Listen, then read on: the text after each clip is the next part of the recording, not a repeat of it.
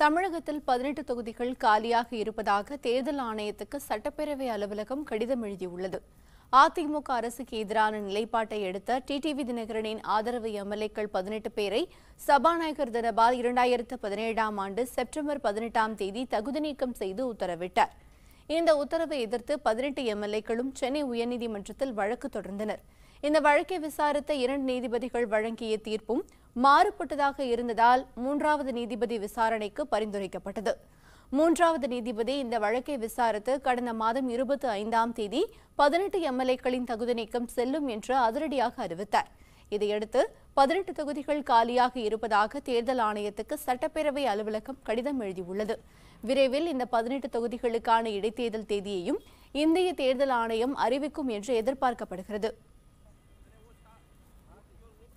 உண்மை செய்திகளை உங்கள் கண்முன் கொண்டு வரும் காவிரி நியூஸின் யூடியூப் சேனலை சப்ஸ்கிரைப் செய்யுங்கள். நொடிக்கு நொடி நாட்டு நடப்புகளை தெரிந்து கொள்ள Kaveri news dot TV Facebook Instagram Twitter போன்ற சமூக வலைதள பக்கங்களோடு எப்போதும் இணைந்திருங்கள்.